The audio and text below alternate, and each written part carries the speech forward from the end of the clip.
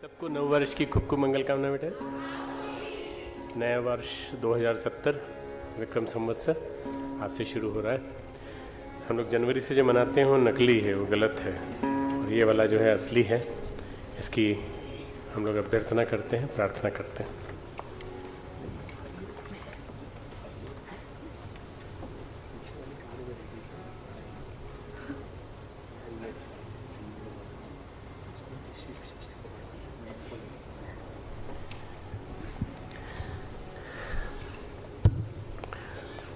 हम लोग आज से नवरात्रि की विशेष क्लासेस शुरू करेंगे। और ये नवरात्रि पूरी तरह से उन ऋषियों को समर्पित है, जिन ऋषियों का वर्णन रामचरितमानस में आया है, या भगवान राम के चरित्र में आया है। भगवान शिव पार्वती से कहते हैं कि राम का चरित्र मैंने मानस में रखा है, इसलिए रामचरित मानस रामचरित मानस जो ग्रंथ है और वो मानस में रखा है तो मैं तुमको सुनाऊँगा। तो शिव और उमा संवाद, वही श्री रामचरित्र, चरित मानस को तुलसीदास जी ने लिखा। इसको हम लोग करें, इसके पहले हम थोड़ा सा याद करेंगे उस सत्ता को। जिस सत्ता ने श्री राम के रूप में जन्म लिया, जिस सत्ता ने भगवान राम के रूप में जन्म लिया, दोनों राम एक ही थे। समय समय पर भगवान राम आते रहे हैं। एक नहीं, ऐसा कहा जाता है कि अनेकों हर मनवंतर में श्री राम प्रकट होते हैं, हर हर मनवंतर में वशिष्ठ आते हैं। तो ये जो भगवान राम हैं, त्रेता युग के श्री राम और कलयुग के श्री राम, ये दोनों के दोनों एक ही हैं, ऐसा ये इस गीत में आता है, जो बहुत सुंदर भजन है। इस गीत को हम लोग करेंगे, गाएँगे। आप लोगों को सबको आता है, आप सब जानते हैं इसको।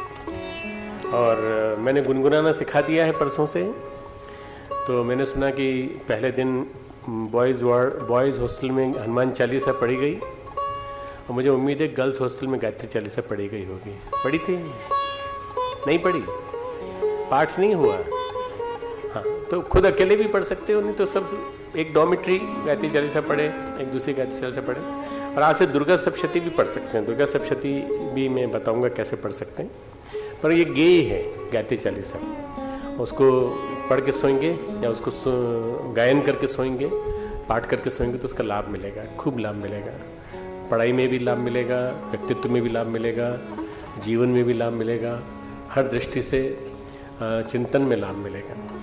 तो आज हम गाते हैं।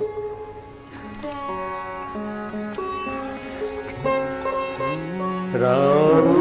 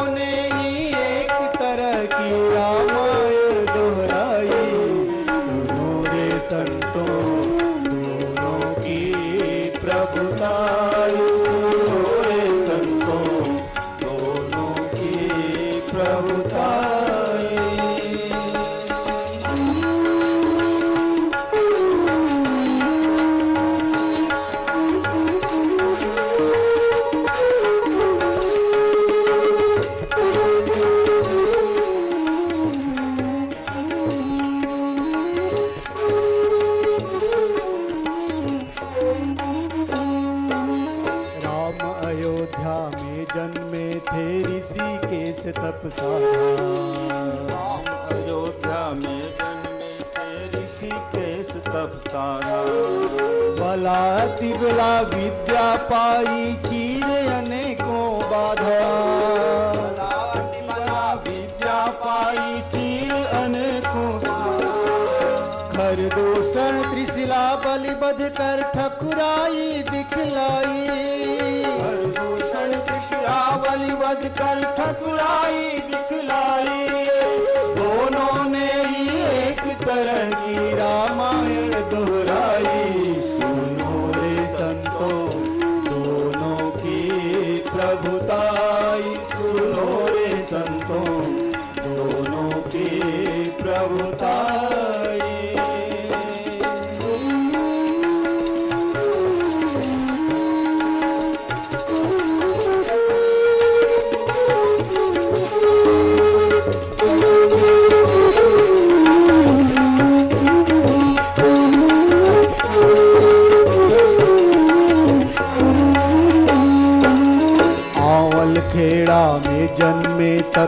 किया हिमालय जाकर। मावल खेरा में जन्मे तप किया हिमालय जाकर। किया जागरण कुंडलिनी का जौ की रोटी खाकर। किया जागरण कुंडलिनी का जौ की रोटी खाकर। ब्रिटिश हुकूमत मार भगाने की थी कठिन लड़ाई। ब्रिटिश हुकूमत मार भगाने की थी कठिन लड़ाई। दोनों ने ही एक तरह की रामायण दोहराई। दोनों ने संतों, दोनों की प्रभुताई। सुनो रे संतों, दोनों की प्रभुताई।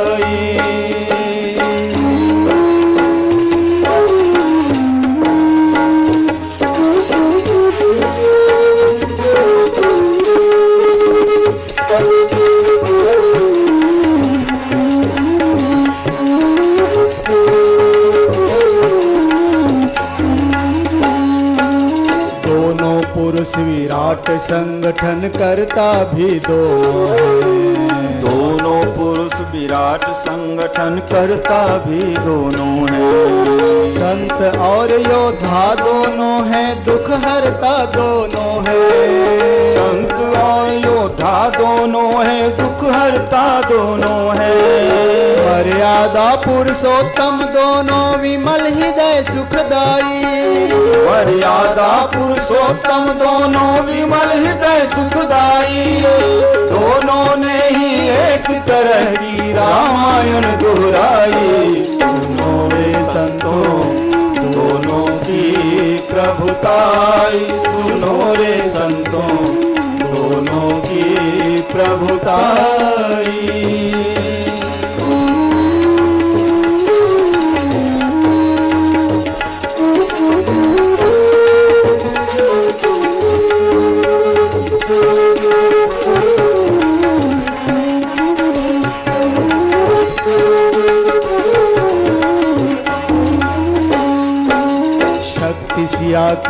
काम राम ने पिछली बार दिखाया। शक्ति सिया की राम राम ने पिछली बार दिखाया। अब की बार शक्ति दी प्रभु ने माने मार्ग दिखाया। अब की बार शक्ति दी प्रभु ने माने मार्ग दिखाया।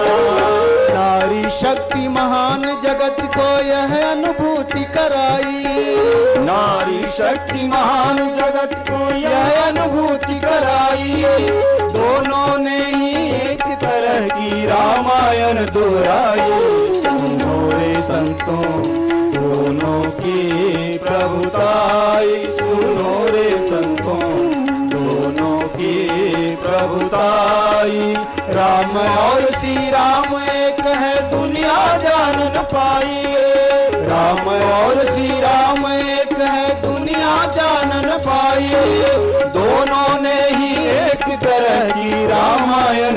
रामायण दोहराई दोनों रे संतों दोनों की प्रभुताई सुनो रे संतों दोनों की प्रभुताई सुनो रे संतों सुनो रे संतों सुनो रे संतों दोनों की प्रभुताई सत्सपुर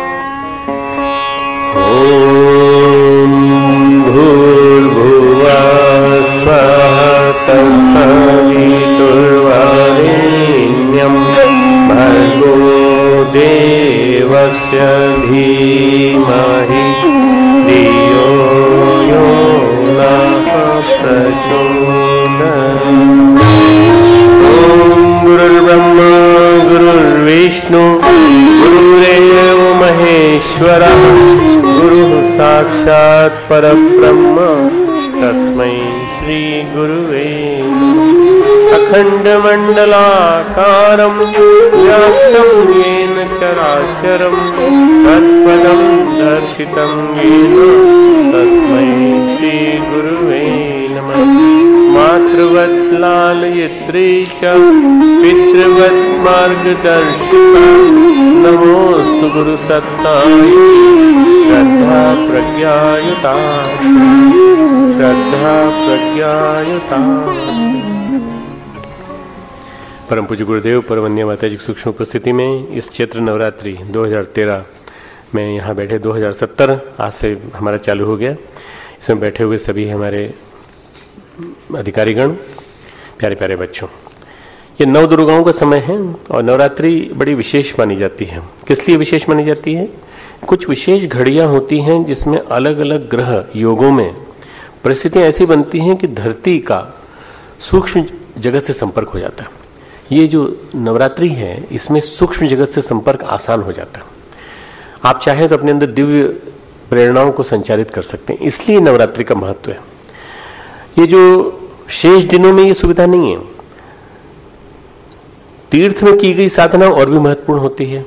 तुम जो बैठे हो, तीर्थ में बैठे हो, गंगा की तट को, गंगा की गोद, हिमालय की छाया में तो शांत चित्त और स्थिरता से की गई साधना थोड़ी सी भी साधना हो तो फल देती है। इसी तरह से पर्वों में किए गए जितने भी कार्य हैं वो सफल होते हैं। सा, अपने साल में दो बार नवरात्र नवरात्रि आती है प्रकट नवरात्रि दो बार गुप्त नवरात्रि आती है। गुप्त नवरात्रि आती है माघ मास में आषाढ़ मास में। और प्रकट नवरात्रि आती है ये चैत्र मास में और शारदे शरद ऋतु में। उस समय जो तप किया जाता है वह उस समय विशेष रूप से संसार की शक्तियों को संचालित करता है परोक्ष जगत। इसमें सनातन परमात्मा की अभिव्यक्ति है शक्ति। शक्ति इसमें डायरेक्ट अभिव्यक्त होती है, इसलिए नव दुर्गा नव दुर्गा दुर्गा शक्ति का प्रतीक है। इसमें सक्रियता है सत रज तथा क्रियात्मकता है परमात्मा की। वैसे इसे कहा जाता है कि ये, इसमें नौ का जो पूर्णांक है, इसका महत्व है। एक, दो, तीन, चार, पाँच छः सात, आठ, नौ। नौ दिन ही क्यों? नौ दिन बहुत ज़्यादा होते हैं। पर ये एक मौसम जा रहा है, दूसरा मौसम आ रहा है। इन नौ दिनों में नौ दुर्गा, दुर्ग यानी कठिन, दुर्ग यानी किला, किले को पार करना है। एक प्रकार से हमें दुर्गम को, दुर्गम चीज़ को पार करना है। इसको पार कर गए यदि स्वस्थ रहेंगे आने वाले समय में और शारीरिक, मानसिक, आध्यात्मिक दृष्टि से स्वस्थ रहेंगे। तो चेतना के नौ विभागों के लिए नौ दिन तय कर दिए ऋषियों ने। चेतना के नौ विभाग हैं कॉन्शियसनेस के नाइन डिपार्टमेंट्स हैं, उनके लिए नौ दिन तय कर दिए। दुर्गा सप्तशती कवच में देवी के नौ रूप आते हैं। शक्ति की अलग अलग अभिव्यक्ति आती है। नौ रूपों के अलावा भी ढेर सारे रूप हैं, पर नौ रूपों की की चर्चा ज़्यादा होती है।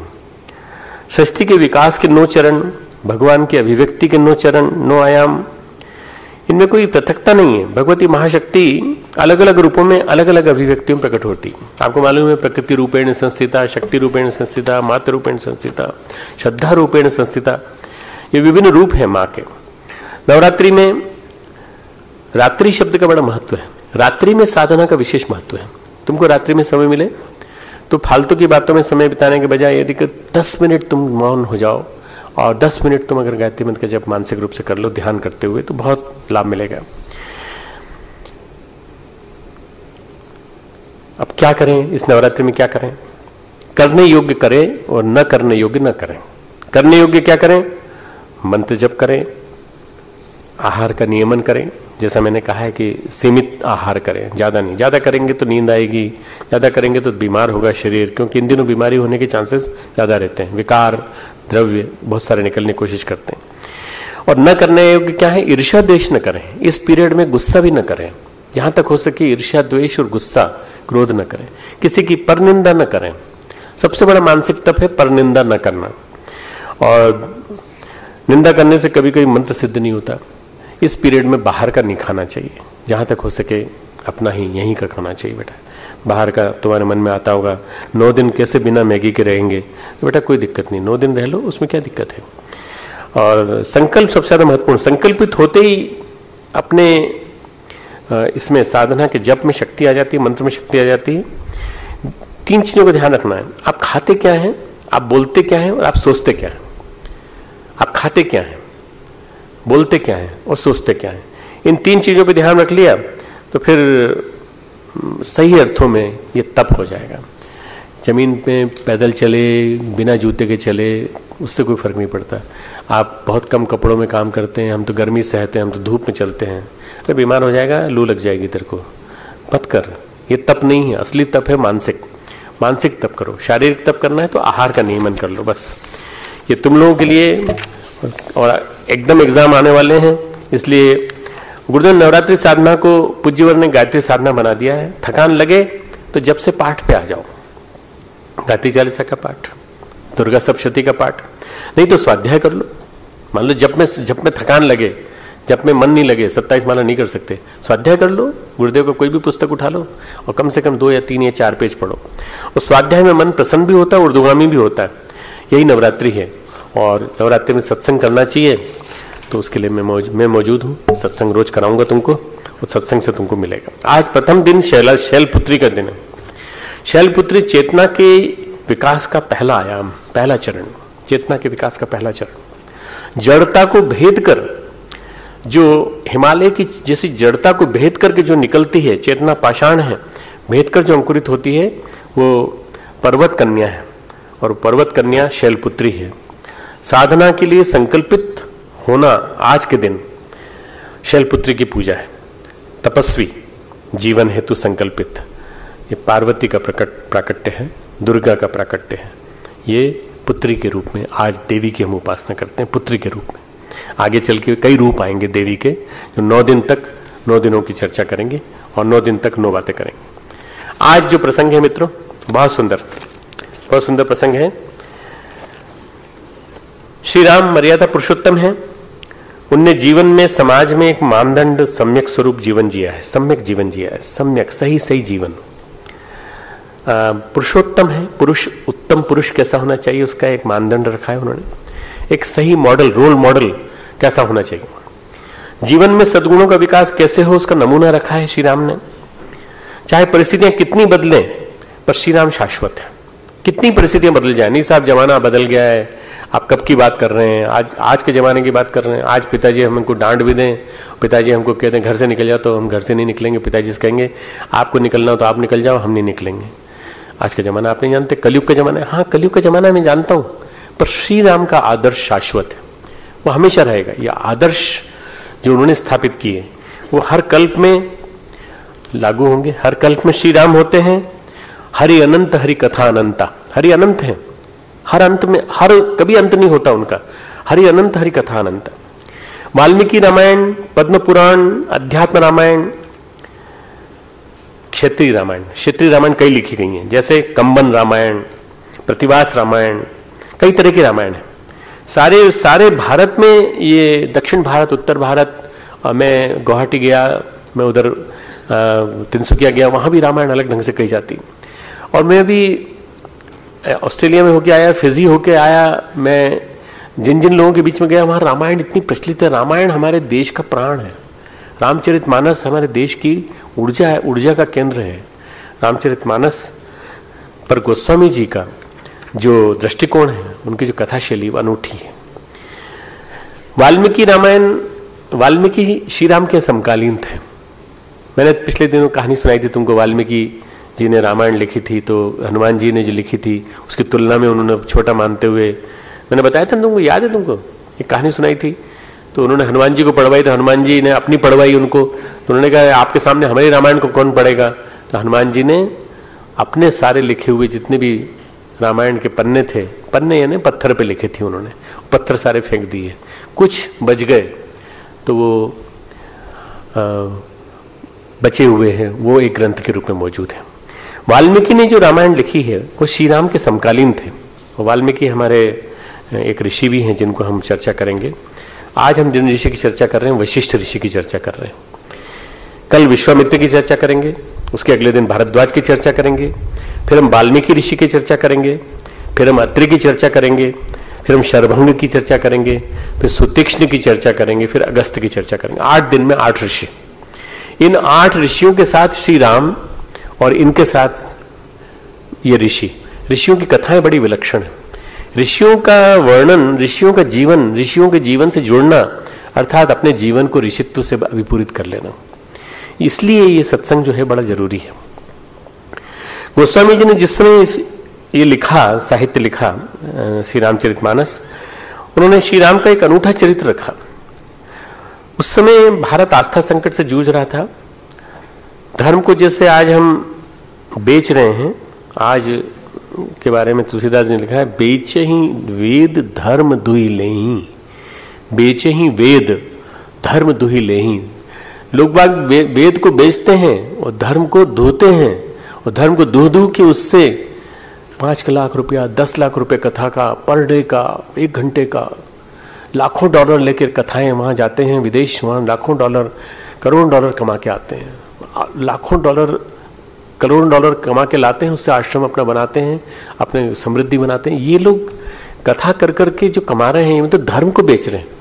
धर्म को बेचे ही, वे धर्म दुह लें धर्म उस जमाने में भी धन का स्रोत था। लोग धार्मिक कथाएँ करते थे, कर्मकांड करते थे, कराते थे, पैसा लेते थे। जनता निरक्षर थी। महाराज जी कथा कर रहे हैं। वाह वाह, क्या सुंदर बात है। वाह, भगवान राम चले जा रहे हैं। तो भगवान राम की कथा सुना दी। भगवान राम कथा सुना, उस जमाने में संस्कृत की कथा सुनाने का प्रचलन था, थोड़ी कथाएँ सुना देते, थोड़ी कहानी सुनाए देते। तो वाल्मीकि रामायण संस्कृत में कही जाती थी, और भी कथाएँ सुनी जाती थी पुराण, वुराण भी सुनाए जाते थे। पर गोस्वामी जी ने लोक भाषा में, अवधि भाषा में इस कथा को बना, लिखा, ताकि लोक भाषा में जन जन के बीच में जाए। ये एक बहुत बड़ा विलक्षण पुरुषार्थ था। मुगलों का राज्य था और अव्यवस्थित शासन था। अलग अलग क्षत्र अलग अलग क्षत्र ने हर क्षेत्र का एक राजा, हर क्षेत्र का सामंत। एक गाँव का एक राजा हुआ करता था।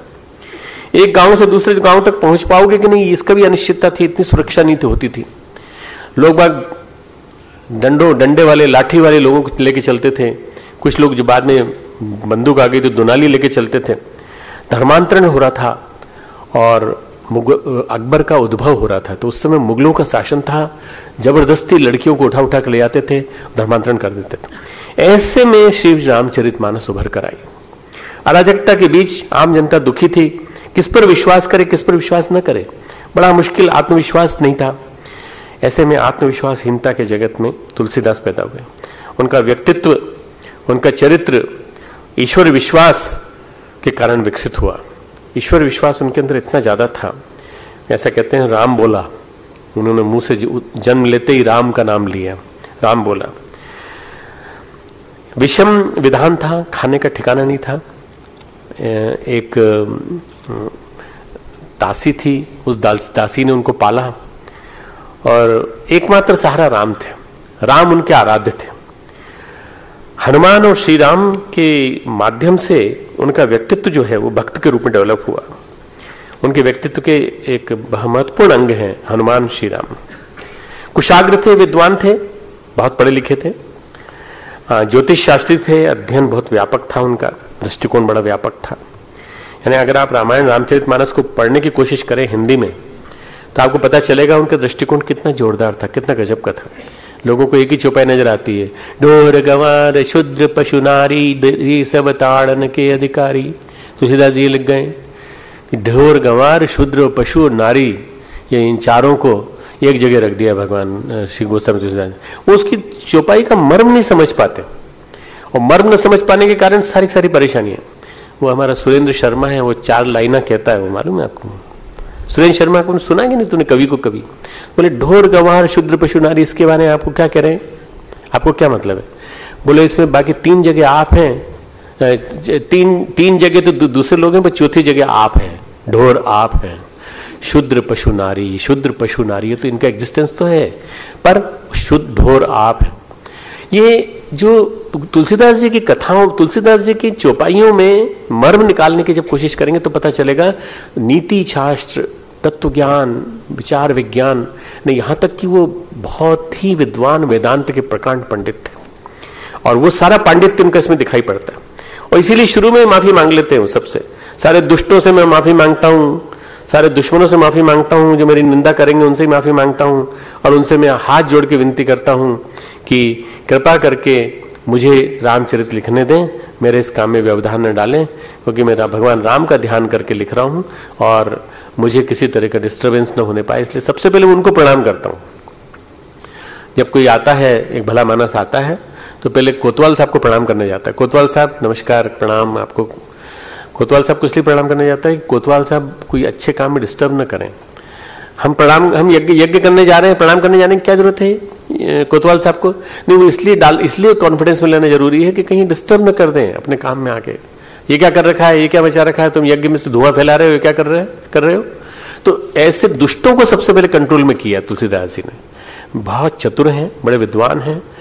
वो पूरी पूरी कथा में चार तरह के मैंने मनोरम घाट बताए थे। तुमको याद है अभी तक कि नहीं? याद है। कई लोग जो है नए हैं, उनको शायद याद नहीं होगा। श्री राम कथा के चार मनोरम घाट हैं। चार मनोरम घाट में राम कथा मंदाकिनी, राम कथा मंदाकिनी। मंदाकिनी की नदी की तरह से पावन है। इसमें चार सुंदर घाट हैं। पहला घाट है तुलसीदास जी और संत समुदाय और आम जन। पहला घाट। इस पे जो स्नान करता है वो तर जाता है। ये घाट कहाँ पर है? ये है हमारे मूलाधार क्षेत्र में, हमारे यहाँ पर, इस क्षेत्र में, सूर्य चक्र में, हमारे शरीर में मतलब रामचरित मानस कुंडलिनी जागरण का एक बहुत बड़ा विधान है। दूसरा घाट, उन्होंने बताया है कि दूसरा घाट जो है, वो है आपके उन, उस संवाद में, जिसमें कि काकभूषणी और गरुड़ का संवाद हुआ है। काकभूषणी और गरुड़ का संवाद जो हुआ है, वो हृदय चक्र में हुआ है। ये दूसरा घाट है। तीसरा घाट आज्ञा चक्र में भारद्वाज और याज्ञवल का संवाद और शिव और, और उमा का संवाद ये चौथे घाट पे हुआ है। ये चार को जो समझ लेता है चार को जो आनंद इसका आनंद जो ले लेता है वो तर जाता है। मैंने दो साल पहले कथा कही थी 2010 में चैत्र नवरात्रि में कही थी तीन साल पहले। फिर से सुना दूँगा कभी तुमको तुमको आनंद आ जाएगा। एक ही एक ही दिन में सुना दूँगा। मैंने एक ही दिन में सिडनी में भी कही है और मैंने एक ही दिन ब्रिस्बेन में भी कही है। मैं तुमको एक ही दिन में सुना दूँगा, एक ही क्लास में तुमको आनंद आ जाएगा कि रामचरित मानस को पढ़ने का तरीका क्या होता है। चारों चक्रों के जागरण, आज्ञा चक्र अनाह चक्र, नीचे से उठता है और ऊपर जाके संस्कार को जागृत कर देता है। ये राम कथा जो है, इसमें सभी ऋषियों की कथाओं का समावेश, सभी ऋषियों की कथा, जिनका नाम मैंने लिया। भगवान हनुमान जी को तुलसीदास जी लाए अपनी कथा में। उन्होंने कहा कि देहबल के बिना आत्मबल विकसित नहीं हो सकता। तुलसीदास जी के बारे में बहुत कम लोग जानते हैं कि वो पहलवान थे। बहुत बढ़िया उनकी व्यायामशाला थी। वे सुबह से शाम तक उसमें कसरत करते थे। उनके उनके उस व्यायामशाला में, जैसे हम सुनते हैं ना कि मल्लशाला और किन की, किन किन की मल्लशाला है? वो कौन सा हमारे यहाँ से जो हुआ है? सतपाल महा और चंद हाँ हाँ वो चंदगी चंदगी राम चंदगी राम ये लोग गुरु हनुमान, उनके गुरु हनुमान थे और उन्होंने चंदगी राम को पहलवान बनाया। आजकल पहलवानी एक तरफ़ रह गई है क्योंकि उसमें पहलवानी के साथ जुड़ा हुआ था देह बल आत्मबल, मनोबल मनोबल, आत्मबल और चरित्र बल पहलवानी, पहलवान को वर्जित था कि आप अपने चरित्र बल को नहीं खोएँगे। क्यों? उसमें शरीर बल अगर मज़बूत रहा तो तुलसीदास जी पहलवान भी थे, अखाड़े के अधिपति भी थे और देह बल चरित्र बल आत्मबल। क्योंकि हमारे उपनिषद में लिखा है, बलम उपास बल की उपासना करो, बल की उपासना करो। ऐसे सीकड़ी सीकड़ी से मरियल से घूमते रहते हो, ताकत है नहीं। जरा सा कोई चाटा मारे, नीचे गिर जाते कर, करो नहीं।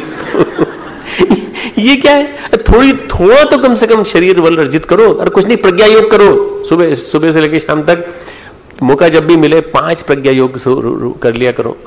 दंड मत लगाओ और और कुछ मत करो पर देखो इतना हमने तुम्हारा ऑडिटोरियम खोल दिया है सुबह। तुम सुबह उठते नहीं हो ऑडिटोरियम में आते नहीं हो तो योग नहीं करते हो पर मुझे लग, पता चला योग सब करते हैं। योग करते हैं ना सब? ऑडिटोरियम सुबह पाँच बजे अवेलेबल है ना तुम लोगों को?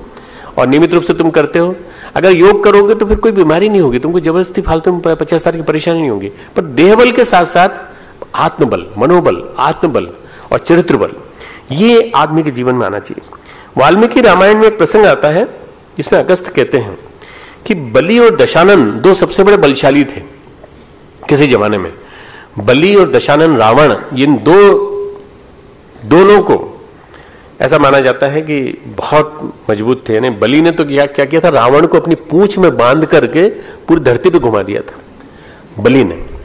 और उसी बलि को भगवान राम ने मारा। पर ऐसा कहा जाता है कि इन बलि और दशानंद से भी ज़्यादा बलशाली उस जमाने में थे हनुमान। हनुमान। हनुमान को साकार बल का प्रतीक माना जाता है। मरुत तुल्य तुल्य, वेद, वेगम, पवन के समान वेग वाले और देह बल तपोबल ज्ञान बल भक्ति बल विचार बल के धनी। ये सभी बल उनके अंदर थे। देह बल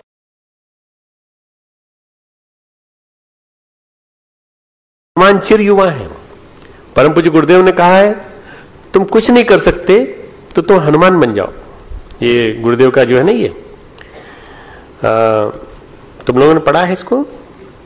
परम पूज्य गुरुदेव की हम सबसे अंग अवयवों से अपेक्षा। इसमें लिखा है इसमें लिखा है कि साधन योग्यता शिक्षा आदि की दृष्टि में हनुमान उस समुदाय में अकुंचन थे। उनका भूतकाल भगोड़े सुग्रीव की नौकरी में बीता था, पर जब महती शक्ति के साथ सच्चे मनो पूर्ण समर्पण के साथ लग गए, लंका दहन, समुद्र छलांगने, पर्वत उखाड़ने का, राम लक्ष्मण को कंधे पर बिठाए फिरने का श्रेय उन्हें मिला। आप लोगों में से प्रत्येक से एक ही आशा और अपेक्षा है। अब ये सुनना। आप लोगों में से प्रत्येक से एक ही आशा और अपेक्षा कोई भी परिजन हनुमान से कम स्तर का ना हो। Minimum qualification in words of Gurudev is Hanuman Hanuman से कम स्तर का ना हो। अपने कर्तव्य में कोई भी अभिन्न सहचर पीछे न रहे, हनुमान बनने से पीछे न रहे। अब हनुमान बनने का मतलब ये नहीं होता कि पूछ लगा लो पीछे, और पूछ लगा के घूम रहे हो। क्यों? भाई साहब, हनुमान, गुरुदेव ने कहा है कि हनुमान बनना है। हम लोग जब, हम लोग जब शांतिकुंज में नए नए आए थे मतलब 78 79 की बात बता रहा हूँ। तो एक एक को उमंग आई, उसने पूछ पीछे बांधी, और तीसरी मंजिल जिसको आज हम गुरुदेव ने बनाया था जस्ट जस्ट नया बनाया था। कश्यप जमदग्नि अत्री, जहाँ पर वो हैं अपने शिवलिंग बने हुए। उस वाली बिल्डिंग में ऊपर चढ़ गया और जय श्री राम करके ऊपर से कूद पड़ा। दोनों पाओ की हड्डी टूट गई। याद है संदीप जी आपको? उसके पाँव, दोनों पाँव की हड्डी टूट गई उसकी। और उसके बाद फिर उसको फिर रिपेयर करना पड़ा प्लास्टर वास्टर लगाना पड़ा। मरा नहीं कम से कम ऊपर हुआ। ऐसा हनुमान नहीं बना भाई, है ना? हनुमान का बल, हनुमान का वेग, हनुमान का तेज, हनुमान से समर्पण और ऐसा हृदय खोल करके कि भगवान राम या विराजमान है, ये अपने हृदय में होना चाहिए, बस। बाकी शरीर जैसा भी है, वैसा ही है। बहुत ज़्यादा ज़बरदस्ती मत करना शरीर के साथ, नहीं तो आज, कल से ही पता चला सब हनुमान बनने की कोशिश कर रहे हैं। विनोबा ने कहा, चिर युवा है हनुमान, कभी बुढ़े नहीं होते। राम भक्त हनुमान का मर्यादा पुरुषोत्तम का प्रसंग उन्होंने हाईलाइट किया है। वाल्मीकि रामायण में भी ये आया है। जहाँ उस युग में परंपरा थी, शादी कितनी ही क्यों ना हो जमींदारों को, ठिकानेदारों को लिबर्टी थी। मतलब मुसलमानों को नहीं अकेले। जमींदार, ठिकानेदार न जाने कितनी शादियाँ करते थे। स्त्रियों की कोई मर्यादा नहीं थी। ऐसे में तुलसी ने एक, हनुमान के रूप में और एक श्री राम के रूप में एक चरित्र का आदर्श सामने रखा। चरित्र ऐसा होना चाहिए। श्री राम का चरित्र होना चाहिए। अभी मैं ब्रिस्बेन में मुझसे एक ने उठ के प्रश्न पूछा डॉक्टर साहब, आप बहुत अच्छी अच्छी बात कहते हैं। आप कहते हैं कि भगवान श्री राम मर्यादा पुरुषोत्तम थे ये थे सब थे पर दशरथ की तीन रानियाँ क्यों थी? दशरथ ने तीन शादियाँ क्यों की? मैंने कहा तुझे दशरथ की तीन रानियाँ दिखाई पड़ती हैं और श्री राम नहीं दिखाई पड़ते जो सीता के साथ संघर्ष करते हैं और वन में जाते हैं वो नहीं दिखाई पड़ता। दशरथ जी पहले देख रहा है राम जी को नहीं श्री राम जी को नहीं देख रहा है। दशरथ जी को देखने के पीछे भी फिलॉसफी है वो मैंने उनको समझाई पूरी कि दशरथ ने रा, राज्य जीतने की प्रतिस्पर्धा वहाँ उस समय राज्य जीते जाते थे तो राज्य जीतने के साथ साथ वहाँ की रानी की भी शादी कर दी जाती थी। तो विदर्भ की रानी सुमित्रा छत्तीसगढ़ की कौशल्या और यहाँ की इसकी केकई देश की केकई उनके उनके जीवन में आई और तीन रानियाँ थी। तो तीन रानियों से कोई फ़र्क नहीं पड़ता। पर भगवान श्री राम ने तो एक ही आदर्श रखा, मर्यादा पुरुषोत्तम। हमें किसको रोल मॉडल बनाना दशरथ को बनाना है कि श्री राम को बनाना है? श्री राम को बनाना है। तो वो देखो ना रोल मॉडल को देखो ना तो उसको क्यों देखते हो? ऐसी अतिरंजित बातें क्यों करते हो? तो सब लोगों ने उस व्यक्ति को धिक्कारा कि ऐसा प्रश्न क्यों पूछा? रामचरित मानस के प्रति अश्रद्धा नहीं पैदा करनी चाहिए। ऐसे में तुलसी ने हनुमान और श्री राम को चरित्र बल के आदर्श के रूप में रखा। साधक कैसा? हनुमान जैसा। श्रद्धा कैसी? हनुमान जैसी। उपास्य कैसा? श्री राम जैसा। उपास्य श्री राम जैसा। कोई स्वार्थ, दर्प, घमंड कुछ कुछ भी नहीं। मुझे आपकी सेवकाई चाहिए और कुछ नहीं चाहिए। मुझे आपकी सेवा सेवा करने का मौका मिले। ऐसे भगवान राम और भगवान हनुमान जी का जीवन सामने रखा। ऋषित्व को संरक्षित, पोषित करने वाले और उससे पोषित होने वाले श्री राम को तुलसीदास जी ने रखा। ये भूमिका बनाई मैंने आज। अब भूमिका की बात चलते हैं प्रसंग आज का। तुलसी की कथा में ऋषियों का बड़ा महत्व है। इस कुल में ऋषियों की पूजा होती थी। राज सिंहासन ऋषियों के चरणों में झुकता है। सबसे बड़ी बात यह है कि राज सिंहासन में राजा अभी ऋषि के आते ही उठ के खड़े हो जाते हैं सबके सब। यानी ऋषि सबसे बड़ी चीज़ है, ऋषि सबसे बड़ी क्लास है, ऋषि सबसे ऊँचा है। सप्तर्षि मंडल ऊपर है, आसमान में और अभी तक चमकता है। उसके जो शीर्ष शीर्ष पर हैं, वशिष्ठ हैं, उन वशिष्ठ की हम बात कर रहे हैं। राज सिंहासन सूर्य से उत्पन्न वंश वाला ईश्वाकु कुल मनु, रघु, दिलीप के कुल में श्री राम जन्मे। जहाँ पुण्य संचय बढ़ता जाता है, धर्म जहाँ बढ़ता जाता है, वहाँ अवतारी पुरुष आते हैं, महामानव आते हैं। जैसे स्वामी विवेकानंद का भी जो कुल के बारे में पता चलता है कि उनके कुल में पुण्य बढ़ता चला गया तो वहाँ विवेकानंद जन्मे। रामकृष्ण परमहंस के कुल में भी इसी तरह से बात आती है। इसी तरह से परम पूज्य गुरुदेव के कुल में भी ये बात आती है। परम पूज्य गुरुदेव के पिताजी पिताजी, दादाजी, सब सब बहुत ही मतलब उनके दादाजी तो ऐसे थे जो वैरागी हो गए थे। अरे, इतना विलक्षण विवरण है मित्रों, कि जिसे पता चलता है कि पुण्य संचित होते होते अवतार के जन्म लेने की प्रक्रिया बल, बलचारी हो जाती है। भगवान वहीं प्रकट होते हैं। और वही कुल था जिसमें श्री राम आ सकते थे। जहाँ भगीरथ है, दशरथ है, वहीं श्री राम आ सकते हैं।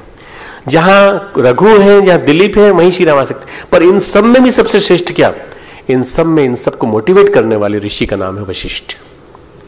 और वशिष्ठ शुरू से आखिर तक मौजूद है। श्री राम तक मौजूद है। श्री राम के बाद लवकुश के जमाने में वो सौंप देते हैं दूसरे को और उसके बाद वो स्वयं विराम ले लेते हैं। पर वो अस्त नहीं होते, ऊपर जाके विराजमान हो जाते हैं।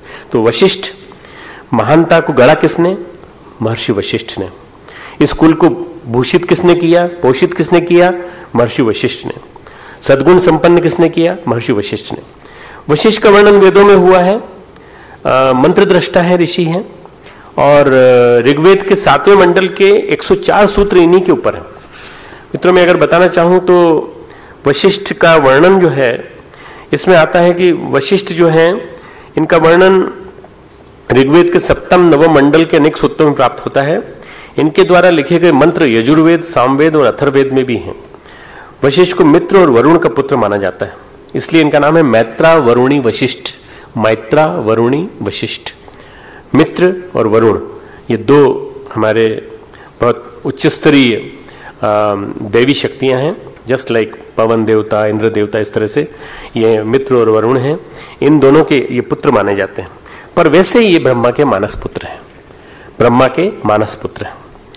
और यजुर्वेद और अथर्वेद में केवल वशिष्ठ नाम ही प्रयुक्त किया गया है, परंतु मैत्रा वरुणी वशिष्ठ इनको सबसे प्राचीनतम ऋषि माना जाता है। वेदों, पुराणों, रामायण, महाभारत आदि सभी धर्म ग्रंथों में इनका वर्णन मिलता है। मैं और बातें बताऊँगा इनके बारे में। महर्षि वशिष्ठ सारे सूत्रों के इन चारों वेदों के कई सूत्रों के रचयिता हैं। एक बार इनका शरीर छूट गया था, ऐसा कहते हैं शरीर छूट गया था तो मित्र वरुण ने अपना शरीर का अंश इनको दिया। इसलिए इनको मैत्र, मैत्रा वरुण कहा जाता है। योग विद्या ब्रह्म विद्या के आचार्य हैं, शास्त्र दर्शन के पारंगत हैं कर्मकांड के, का विशेष ज्ञान है इनको, रघुकुल के पुरोहित हैं। मात्र कर्मकांड वाले पुरोहित नहीं, इनसे जब कहा गया कि तुमको पुरोहित बनना है रघुकुल का तो इन्होंने कहा, ये पुरोहित बनना मैं नहीं चाहता। ब्रह्मा जी ने कहा, वत्स तुम ईश्वाकु कुल का पौरोहित्य स्वीकार कर लो। किंतु उसे अत्यंत निंदित समझ के, जैसे किसी कहा जाए कि तुम इस मंदिर के पुजारी बन जाओ, या तुम इस कुल के पुजारी बन जाओ, पुजारी बन के सेवा करते रहना। तो उन्होंने कहा, ये तो छोटा काम है, निंदित काम है। उन्होंने मना कर दिया।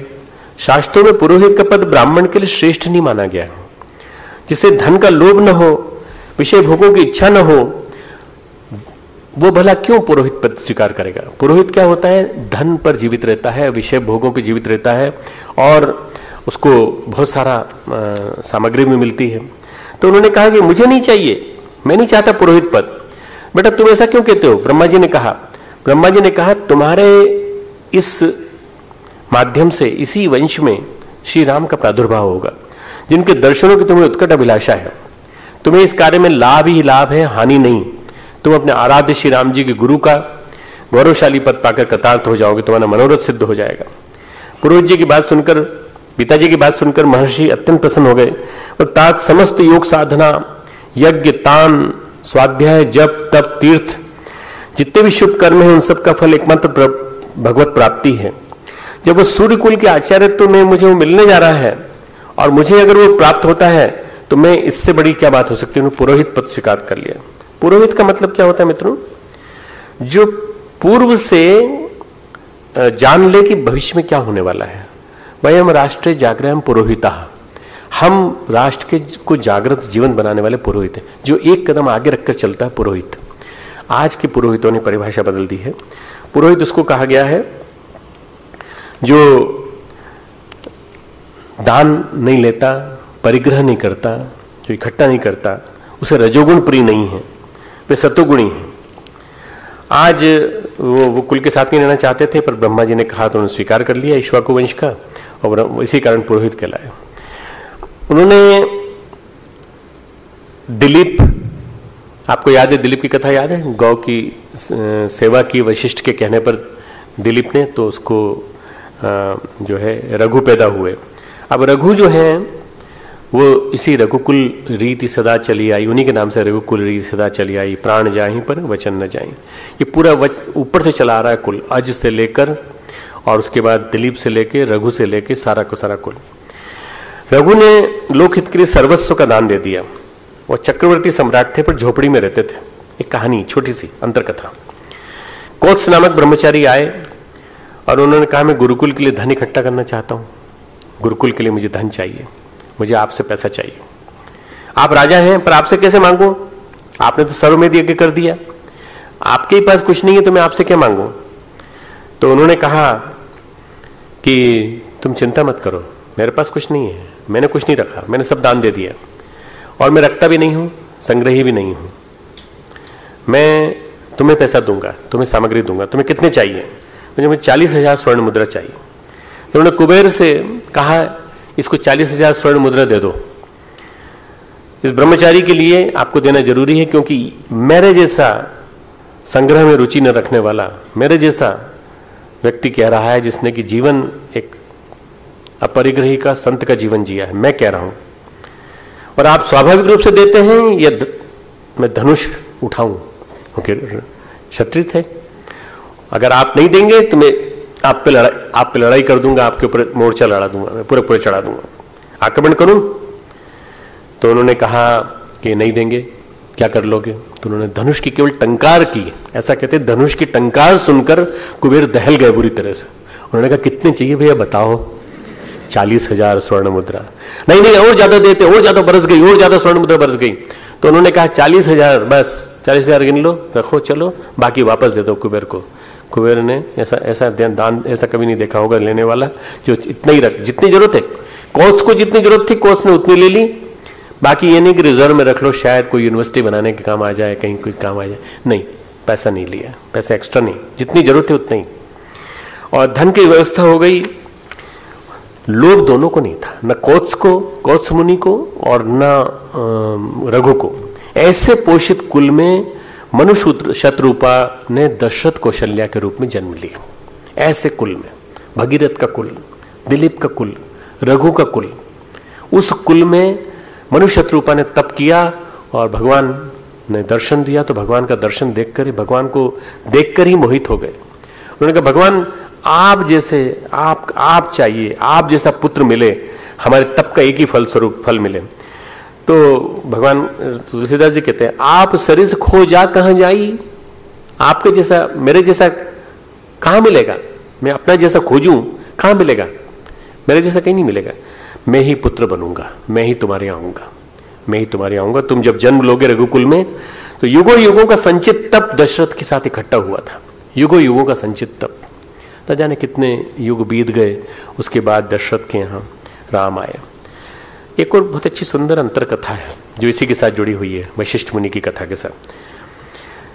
दशरथ की एक पुत्री हुई शांता, जो राम की बड़ी बहन थी। शांता को दशरथ ने गोद दे दिया। पड़ोसी राज्य में एक अरिद अरि तुम लोगों को शायद ये कहानी मालूम है कि नहीं मालूम? कुछ लोगों को मालूम होगी शायद नहीं मालूम होगी। तो एक जो पड़ोसी राज्य थे राज, रा, राजा थे उनको गोद दे दिया कि आप इसका पालन पोषण कीजिए आपको कोई संतान नहीं है आप इसका पालन पोषण हमको तो वरदान प्राप्त है हमें सब मिलेंगे। पुत्र मिलेंगे या पुत्री मिलेगी जो भी मिलेगी फिर से मिलेगा आप इसको ले लीजिए। वशिष्ठ से कहा, आप कुलगुरु हैं कुलगुरु हैं, पर वंश का विस्तार कैसे होगा? इसकी, इसका इसका आप बताइए। उनका समय आने पर पुत्र होंगे, तुम चिंता मत करो। उन्हीं का शिक्षण करने के बाद मैं अपना पद छोड़ूँगा। वशिष्ठ ने कहा। बोले, इसके बाद मेरे पुत्र पाराशर मेरा दायित्व तो संभालेंगे। यहाँ मेरा फुल स्टॉप होगा। मैं आपके पुत्र की प्रतीक्षा हूँ। समय आ चुका है। राज्य विस्तार हेतु शादियाँ होती थी। दशरथ की तीन शादियाँ हुई, जैसे मैंने बताया, सुमित्रा विदर्भ की कौशल्य छत्तीसगढ़ की और केकई केकई की केकई देश की जिसने कि दशरथ की जान बचाई थी, अपनी उंगली लगा दी थी चक्र में, पहिए में। इसलिए केकई को शादी करके लाए थे। उन्होंने कहा कि इसके लिए पुत्रिष्ट यज्ञ करना पड़ेगा। शांता की कथा बाद में लाऊँगा मैं। शांता बीच में आएँगी अभी। शंगी ऋषि सबसे अद्भुत है और विभाडक ऋषि के वे पुत्र हैं। वे ही यज्ञ कराएँगे। वे यज्ञ कराएँगे, पुत्रिष्ट यज्ञ कराएँगे। तो निश्चित रूप से आपके यहाँ बालक होगा। बालक होगा, इसको फिर तुलसीदास जी कहते हैं अपने उसमें भाषा में।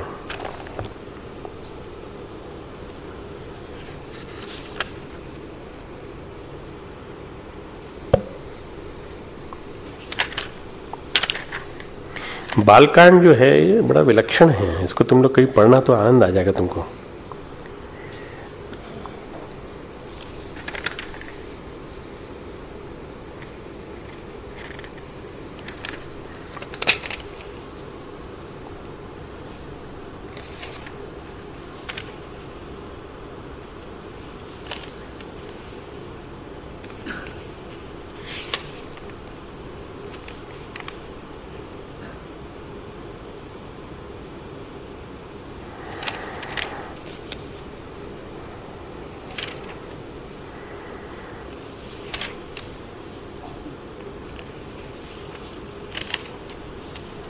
मुझे वो मिल नहीं रहा है, इतना सुंदर है वो, कि जहाँ पर उन्होंने वर्णन किया है कि ये जो मैं बताता हूँ, इसके बाद सुनाऊँगा तुमको। ये बहुत अच्छा छंद भी है, वो भी सुनाऊँगा तुमको। तो वही यज्ञ कराएँगे, शंगी ऋषि कराएँगे। परम तपस्वी थे। विभाडक ऋषि के कोई पत्नी नहीं थी, पर एक अप्सरा के कारण ये शंगी ऋषि पैदा हुए थे। उन्होंने शंगी ऋषि को ऐसे डेवलप किया उन्होंने कहा, कोई एजुकेशन में नहीं पड़ जाए चक्कर में ये हमने तो जिसको एजुकेशन की चर्चा हुई थी ना, ये कहीं लड़की के चक्कर में नहीं पड़ जाए, स्त्री से दूर रखा। स्त्री से दूर रखा, उन्होंने तपस्या के सभी गुण सुखाए, सिखाए पुत्र को, और शंगी ऋषि को अपने आश्रम में रखा। उनको ये भी नहीं बताया कि कोई स्त्री नाम की कोई चीज़ होती है। और उनको मालूम था अरिदमन को कि हमारे हमारे क्षेत्र में वर्षा अगर होगी तो वो केवल शंगी ऋषि के आने से होगी। शंगी ऋषि आएँगे तो वर्षों क्योंकि उनका तप बहुत विकट है। शंगी ऋषि ने जीवन में कभी भी नहीं देखी युवा हो गए। नगरवधु ने कहा राज्य पर संकट है तो हम जाएँगे। और हम जाकर के सुन, सुंदर ब्रह्मचारियों का वेश बनाया। अब तुम लोग भी तुम जब लड़कियाँ जब नाटक करती हैं तो लड़कों का वेश बनाती हैं है ना? उन्होंने भी लड़कों का वेश बनाया जटाजूट पहन लिए। और सब कुछ पहन करके आए। और उन्होंने कहा, पता लगाया कि कब कब बाहर रहते हैं विभाडक। विभाडक ऋषि थोड़े दो दिन के लिए बाहर कहीं गए हुए थे। उन्होंने कहा, ये दो दिन का समय सबसे बढ़िया तो नगर वधु जो थी, उसने कहा, हम सेक्रीफाइस कर देंगे, ज़्यादा से ज़्यादा शाप मिलेगा तो हम मर जाएँगे, और क्या होगा? पर राज्य के हित में, राज्य में वर्षा हो, कम से कम कुछ नहीं तो दस पंद्रह साल से पानी नहीं गिरा था, लोग भूखे मर रहे थे। उन्होंने प्रणाम किया, बोले, आप कहाँ से आए हैं? हम गुरुकुल से आए हैं। तो आप लोग क्या हैं? हम ब्रह्मचारी हैं। हम तपस्या कर रहे हैं, पर एक बात आपसे अनुरोध करते हैं, पिताजी से हमारे बारे में मत बताना कि हम आए थे आपसे मिलने। पर ये आपकी आवाज़ बड़ी मीठी लग रही है, बड़ी कोमल सी लग रही है, ऐसी क्यों है? तो उन्होंने कहा कि हम जहाँ रहते हैं, वहाँ फल इतने मीठे होते हैं कि उसको खाने से हमारी आवाज़ ऐसी मीठी है। आपका शरीर मेरे से अलग है, कुछ ऐसी क्या बात है? ब्रेस्ट का उभार दिखाई दिया होगा उनको। तो उन्होंने कहा कि ऐसा है, हम लोग प्राणायाम ज़्यादा करते हैं ना तो प्राणायाम करने से हम लोगों को इस तरह से। तो कन्विंस हो गए, शंकरी कन्विंस हो गए। उन्होंने कहा कि हम आपके लिए कुछ चीज़ें लेके आए हैं। गुलाब जामुन लाए हैं, हम आपके लिए बहुत सारे फल लाए हैं। ये फल तो हमारे यहाँ नहीं होते। मैं तो ये फल खाता हूँ सेब खाता हूँ, अमरूद खाता हूँ, नारंगी खाता हूँ। देखिए, ये फल तो आप रोज खाते हैं, पर हम जो फल लाए इनको आज खा के देखिए। गुलाब जामुन लाए थे, कचौड़ी लेके आए थे, समोसे लेके आए थे उनके लिए। अब श्रृंगी ऋषि जो है, उन्होंने जब खाए तो उन्होंने कहा, ये फल आप क्या होते हैं? हमने तो आज तक कभी खाए नहीं, हमारे तो पिताजी ने कभी खिलाए नहीं। पूरी पकवान सब खिलाया। बोले, आप हमारे आश्रम में चलिए ना। आप हमारे आश्रम में चलेंगे, हम पिताजी से पूछ के चलेंगे। बोले, पिताजी कहते थे कि स्त्री से नहीं मिलना चाहिए। आपके यहाँ स्त्रियाँ तो नहीं है? बोले, नहीं नहीं। बोले, आपका शरीर स्त्री स्त्री से भिन्न है ना, पक्का? और जो आपने हमें खिलाया फल खिलाया ना? देखिए, कंदमूल खाए आपने, इसलिए आपको कंदमूल के अलावा कुछ नहीं मालूम। ये ऊपर से टपकते हैं, गुलाब जामुन ऊपर से टपकते हैं, समोसा ऊपर से टपकता है, कचौड़ी ऊपर से टपकती है, ये सब आपके, ये पेड़ आपके नहीं लगे ना, ये हमारे लगे, आप आइए तो सही, हमारे यहाँ चलिए। बेचारे ने कभी स्त्री देखी नहीं थी, मूर्ख बन गया बेचारा। शंगी ऋषि बुद्धू बन गए। क्यों? स्त्री तो स्त्री होती है, बना सकती है किसी को भी, खिला खिला के कुछ भी कर सकती है। तो उन्होंने, स्त्री ने कहा कि हम विशिष्ट साधना कर रहे हैं और, हम चाहते हैं कि उसका विशिष्ट परिमार्जन कर लिया जाए, शरीर स्वस्थ रहे, सुंदर रहे, इसलिए हम लोग जो हैं, ये कंदमूल के अलावा ये चीज़ें खाते हैं। आप भी इनको खाइए। आप चलेंगे ना? तो बोले, देखिए, पिताजी कल आ जाएँगे। कल के पहले हमको छोड़ दीजिएगा यहाँ पे। हम चलते हैं आपके साथ। आप बहुत अच्छे लोग हैं, बड़े अच्छी अच्छी चीज़ें खिलाई गुलाब जामुन तो बहुत ही स्वादिष्ट थे शंकी ऋषि ने पहली बार जीवन में खाए जिसने कभी जीवन में कुछ नहीं खाया, उसको कितना अच्छा लगा होगा। शंकर ऋषि ने जैसे ही प्रवेश किया अरिदमन किया उनके राज्य में प्रवेश करते घनघोर वर्षा होने लगी और उनका तप का प्रभाव था। ऐसे श्रृंगी ऋषि जिनके अंदर प्रवेश करते ही वर्षा हो गई विभाडक को पता चल गया। विभाडक को पता चल गया कि ये श्रृंगी को मेरे बेटे को ही ले गए यहाँ से। तभी श्रृंगी को मैंने तपस्वी बना के इकट्ठा किया था और इतना बड़ा बड़ा किया था। तो ये उसी उसी को लेके आए थे। तो उन्होंने फिर आए क्रुद्ध होकर, चिल्लाकर कौन कौन थे? किस किस ने क्या किया, ये किया? तो राजा भी आया नगर वधु भी आई, सब लोग आए सामने। उन्होंने कहा, हमने प्रजा के लिए किया। हम शंगी ऋषि को, हम पतन क्यों नहीं ले जाना चाहते थे। हम शंगी ऋषि के तप का प्रभाव से हम यहाँ वर्षा करना चाहिए वैसे तो नहीं आते, क्योंकि आप नहीं आने देते। तो एक छोटी सी अंतर कथा है, इससे पता चलता है। उन्हें मालूम भी नहीं था शादी क्या होती है। पर प्रजा के पोषण के लिए उन्होंने विमांडक ने फिर उनको कहा कि प्रजा के पोषण के लिए तुम्हें शादी करना चाहिए। तो शंगी ऋषि की शादी शांता से की राम की बड़ी बहन शांता की शादी शंगी ऋषि से हुई। विमांडक ने, जो उनके पिता थे, उन्होंने संसार का उपदेश दिया, मर्यादाएँ दी और कहा, तुम्हें किस लिए जीना चाहिए? तुम्हें एक आदर्श पति पत्नी का जीवन कैसा होना चाहिए? ऐसा कैसे जीना चाहिए? अब तुम उस तपस्या के योग नहीं रहे। जो मैं तुमको तपस्या करा रहा था, उसके योग नहीं रहे। यहीं रहकर ईश्वर आराधना करो। पर तुम्हारे अंदर इतनी शक्ति होगी, तुम जो श्राप दोगे उसमें शक्ति होगी, तुम जो वरदान दोगे, उसमें शक्ति होगी। क्योंकि तुमने ये काम अनजाने में किया है, इसलिए तुम पर दोष नहीं लगेगा। वशिष्ठ ने कहा, श्रद्धि ऋषि से यज्ञ कराएँगे। पुत्रिष्ट यज्ञ कराया गया और पुत्रिष्ट यज्ञ से जो प्रसाद मिला, वो प्रसाद बांटा गया, तीन रानियों में बांटा गया। श्री नारायण राम के रूप में आए, उनका संस्कार भी, पालन पोषण भी, सब कुछ। अब मैंने जो चौपाई याद देख रहा था इसमें इसमें लिखी हुई, संगी ऋषि वशिष्ठ बोलावा पुत्र काम शुभ यज्ञ करावा। पुत्र काम, पुत्र कामेष्टि यज्ञ। इसका अर्थ पुत्र कामेष्टि यज्ञ। पुत्र की कामना से। अब ये आज दुनिया में क्या हो गया है कि आज भी पुत्र काम के लिए, पुत्र की कामना के लिए यज्ञ होता है। चाहे वो फीमेल फिटिसाइड हो रहा हो, चाहे कुछ भी हो रहा हो, पुत्र की कामना से।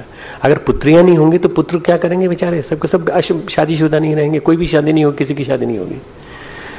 तो ये पुत्र की कामना जो है ये उस जमाने में थी और आज भी है। और उसके चक्कर में पुत्रियों को मारते हैं गर्भ में लड़कियों को मारते हैं। कितना नीच काम का हम लोग करते हैं, ये आज का युग है। और उस उस युग में पुत्र कामेष्टि यज्ञ किया गया। गुरुकुल की शिक्षा दी गई और आपको मालूम है चौपाई अल्पकाल विद्या सब आई। अल्पकाल में छोड़, बहुत ही भगवान राम को पढ़ाने की ज़रूरत नहीं पड़ी। मिट्टी का पार्थिव शरीर था, साधक शरीर बन गया। इसलिए अवतार को तप करना पड़ता है, शक्तियाँ प्रकट होती चली जाती हैं। किशोर अवस्था में एक बार श्री राम को प्रखर वैराग्य प्रकट हुआ। बहुत ज़्यादा वैराग्य हुआ इतना ज़्यादा वैराग्य हुआ कि उन्होंने राज राजपद का त्याग कर दिया। राम उदास रहने लगे मतलब रा, राज सुख का त्याग कर दिया और राम उदास रहने लगे वन में रहने लगे। दशरथ चिंतित महारानी चिंतित वशिष्ठ ने कहा वे वैराग्य में चले गए हैं पर वे ज्ञान के अधिकारी बन गए उनके लिए शिक्षा की व्यवस्था मैं करता हूँ। वशिष्ठ ने श्री राम को बचपन में बाल्यकाल से मतलब शुरू से लेके रघु से लेकर के सारे वंश का पोषण करते करते श्री राम के अवतरण की प्रक्रिया को करने के बाद श्री राम का पोषण किया और उनको वन में ले गए। वन में ले जाकर उनको शिक्षण दिया वैराग्य का। और जो सबसे बड़ा ग्रंथ है, वैराग्य का, वेदांत का, योग वशिष्ठ, उसकी शिक्षा दी। योग वशिष्ठ वशिष्ठ के द्वारा कहा गया श्रेष्ठतम ग्रंथ है वेदांत का। और ये उन्होंने सुनाया उनके युवावस्था में। कई लोग गलत बताते हैं कि ये यहाँ पर जो देवप्रयाग है, यहाँ योग वशिष्ठ कहा गया था और भरत मुनि, भरत भरत, ये मुनि की रेती में भरत को तप तप करने को वानप्रस्थ आश्रम मौका मिला था, गलत है। ये अयोध्या के जंगलों में भगवान वशिष्ठ ने भगवान श्री राम को तप कराया और उनको मम विद्या सिखाई। और योग और वेदांत के अधिकारी बन गए। योग वशिष्ठ वेदांत, इस पर पीएचडी हुई है बीकन लाल आत्रे की। अपनी ब्रह्मचस की लाइब्रेरी में किताब है बीकन लाल आत्रे की योग वशिष्ठ। योग वशिष्ठ की कथाएँ, इस पर गुरुदेव ने बहुत बढ़िया लिखा है। गुरुदेव ने किताब पुस्तक लिखी है, योग वशिष्ठ। वो बहुत बढ़िया, बहुत सुंदर है। वेदांत का ग्रंथ है, बहुत ऊँचा स्तर का ग्रंथ है। तो उन्होंने कहा, गृहस्थाश्रम से पूर्व, गृहस्थाश्रम में प्रवेश से पूर्व तुमको ब्रह्मवेत्ता बनाना चाहता हूँ और वशिष्ठ की कृपा से ही वो बने। योग वशिष्ठ की जब चर्चा हो रही थी, उसी समय श्री राम का दूसरा चरण चालू होता है, जब राक्षसों का आक्रमण होता है। वह तो राक्षसों का आक्रमण जब होता है तो राक्षसों के आक्रमण के लिए विश्वामित्र का आगमन होता है। और विश्वामित्र ऋषि, कल हम चर्चा करेंगे विश्वामित्र ऋषि की चर्चा। आज थोड़ा सा थोड़ा सा वशिष्ठ के बारे में बताने का और मन है, थोड़ा सा। कि वशिष्ठ ने क्या क्या? किया वशिष्ठ के पुरुषार्थ कितने हैं?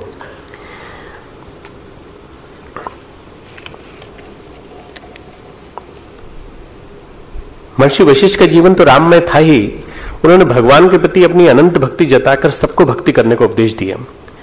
भक्ति का साधन सुगम था, उन्होंने राम से कहा, प्रभु ने आप सोचिए कि अपने शिष्य को, श्री राम को, वो प्रभु करके सूचित करते थे। प्रभु कर्म कांडादि अन्य साधनों से साधक का ज्ञान जनित मल का अंधकार दूर नहीं होता। उत्तरकांड में ये वर्णन आया है। आपके चरणों की अनुराग परक भक्ति ही हृदय ग्रंथि और हृदय के मल को धोने में सर्वथा समर्थ हो सकती। छूटे मल की मलई के धोए, घृत की पाव कोई बारी बिलोए। क्या जिसे मेल से क्या मेल छूटता है? जल के मथने से क्या कोई घी पा सकता है? वैसे ही हे रघुनाथ जी, प्रेम भक्ति रूपी निर्मल जन के बिना अंतकरण का मल कभी नहीं जाता। रामचरित मानस उत्तरकांड। अनेक जन्मों का विकार जो हृदय में मल के रूप में जमा रहता है, वह हरि भक्ति से ही धुलता है। जिनके चरण कमलों की सेवा में निरंतर बढ़ने वाली प्रीति तपस्वियों के अनेक जन्मों के संचित मनोमल को नष्ट कर देती श्रीमद भागवत भी इसी का वर्णन करती है। रामचरित मानस में आता है कि व्यक्ति में कोई गुण हो न हो न हो, केवल भगवान में प्रेम होने से सब गुण आ जाएँगे। सब गुणों को देने वाली एक भगवान के चरणों की प्राप्ति, ये वशिष्ठ ने कहा है। प्रभु पद प्रेम के बिना सर्व गत्वादि गुणों के होते हुए भी सारी सारी ज्ञान व्यर्थ है। महर्षि वशिष्ठ इस रहस्य को जानते थे, इसलिए उन्होंने कहा, रामचरितमानस में, अंतिम में, जो बाद में, सबसे अंतिम बात कहते हैं, नाथ एक बर मांगऊ, राम कृपा करि देहु जन्म जन्म प्रभु पद कमल, कबहु घटे जन नेहु। हे नाथ, मैं आपसे एक वर माँगता हूँ, कृपा करके दीजिए। हे राम जी, आपके चरण कमलों में मेरा प्रेम जन्म जन्मांतर में भी न घटे। वशिष्ठ जी की प्रेम भरी बातें सुनकर श्री रामचंद्र जी को बहुत अच्छा लगा। उन्होंने कहा, आप तो मेरे गुरु हैं। इस प्रकार की मर्यादा को ध्यान में रखते हुए प्रसन्नता जताकर बिना कुछ कहे ही वशिष्ठ जी को अखंड भक्ति का वर दे दिया और श्री राम की उन पर पूर्ण कृपा हो गई। श्री राम के अनन्य भक्त, भगवान राम के गुरु, महर्षि वशिष्ठ, भगवती अरुंधति देवी के साथ सप्तऋषि मंडल में आज भी स्थित होकर भगवान श्री राम की प्रेम में भक्ति में निमग्न रहकर सारे जगत के कल्याण की प्रार्थना निरंतर किया करते हैं। तो वशिष्ठ के साथ विश्वामित्र की कथा जुड़ी है।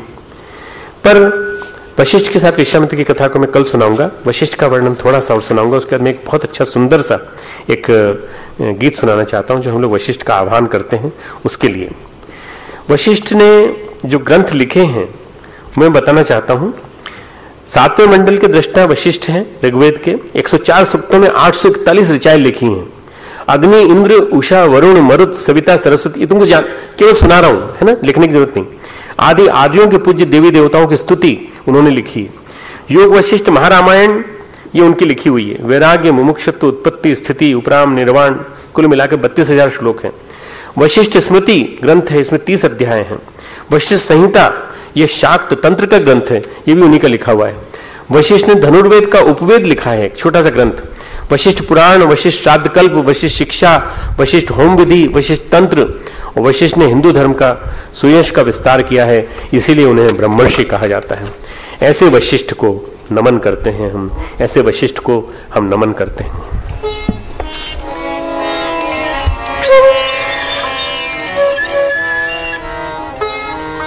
सबके परम हितेशी ऋषिवर आप धर्म प्रतिरूप रहे। सबके परम हितैषी ईश्वर आप धर्म प्रतिरूप रहे। कार्य कुशल इतने की कर्म से हरिव के अनुरूप रहे। कार्य कुशल इतने की कर्म से हरिव के अनुरूप रहे। जनहित से जन की करुणा से भरा सदा जिसका मन है उन्होंने श्रेष्ठ वशिष्ठ पूज्य करता उन्होंने श्रेष्ठ वशिष्ठ पूज्य करता ओम नमस्तुभ्यं वशिष्ठाय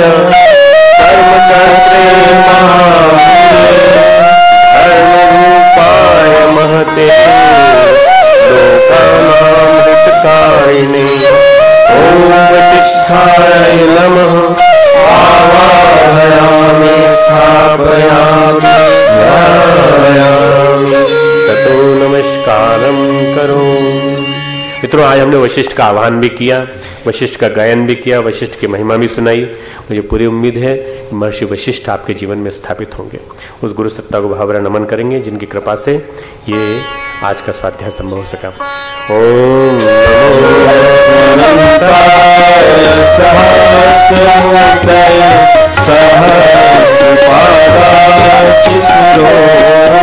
नमो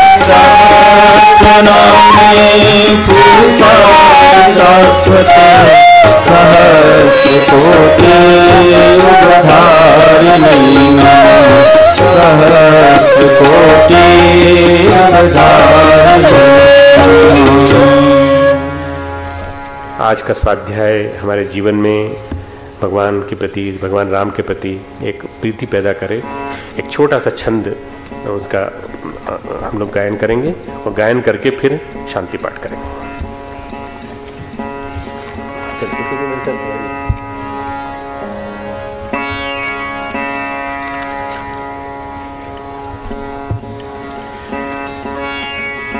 जब ब्रह्मा जी के मन में बड़ा हर्ष होता है उनको पता लगता है कि भगवान आने के लिए तैयार हो गए हैं धरती पर तो भगवान की स्तुति गाते हैं।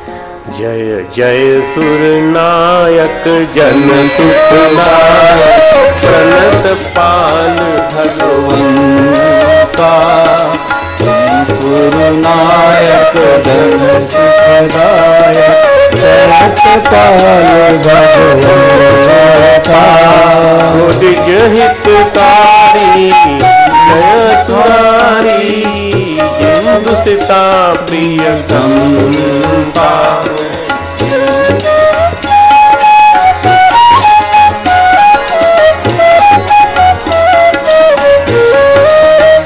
पालन सुर धरनी अद्भुत करनी मर मन जानही कोई। जो सहज